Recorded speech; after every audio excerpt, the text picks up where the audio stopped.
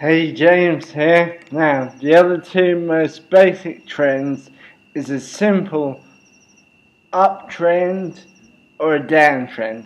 That's just where you look at the graph, simple line graph, and it's either going steadily up or steadily down. It's pretty damn simple, you know. You can understand that. Like I said, most shares or stocks, commodities, whatever it be, they do one of three things. They're either consolidating within a range, they're uptrending, or downtrending.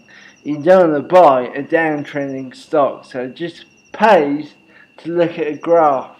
For five minutes work, it can save you a fortune because you must remember bend with the trend and let the trend be your friend.